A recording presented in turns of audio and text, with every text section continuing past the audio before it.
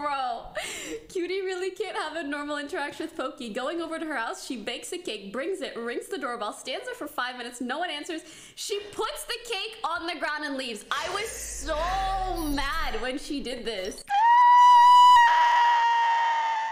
I was furious. I was like, you came all the way to my house and I didn't even see you?